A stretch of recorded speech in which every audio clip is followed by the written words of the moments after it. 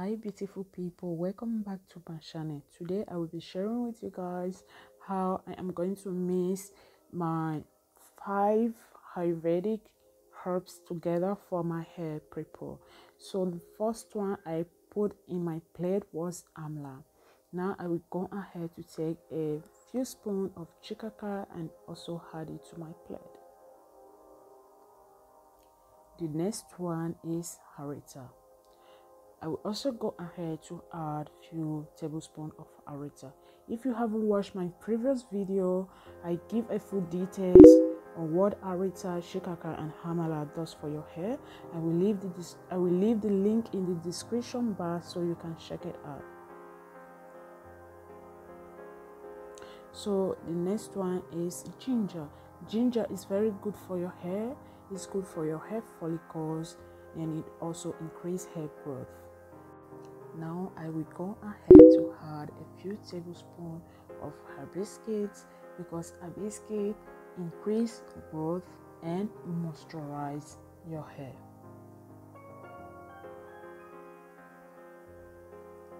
You can add a bit more of hamla, shikakai or arita if you want. As I did, I added few few of hamla.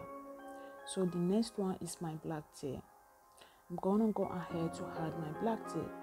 Don't worry, the other herb is coming, which is my moringa. I will add my moringa. Now I added my my black tea. I will go ahead and start mixing.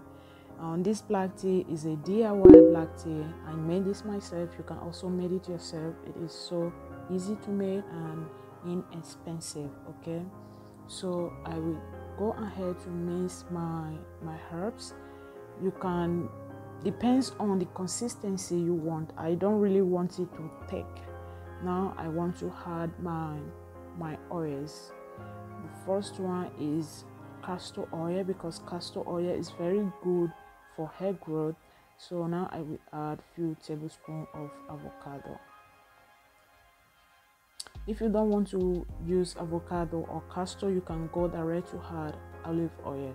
I also add few tablespoons of my of my carrot uh, oil. If you haven't watched the video, I will leave it in the description box so you can check it out. I also add few tablespoons of olive oil. So the next one will be my my coconut oil. It doesn't really matter if you don't have if you don't add all this oil that i just mentioned or that i just added you can add olive oil coconut oil depends on your choice. So here i'm gonna add one tablespoon of of moringa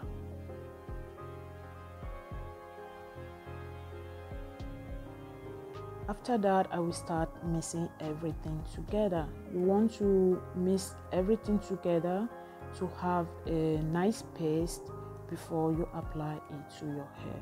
So after mixing everything what i did i left it overnight. I used this the next day to prepare my hair okay? And this was very good. My hair really loves it. If you haven't subscribed to my channel please do hit the subscribe button also turn your notification bell because that will notify you anytime i upload a new video. So now i will go ahead to add a tablespoon of almond oil. So guys this is it. I hope you do enjoy watching this video. Please share it with your friends and family.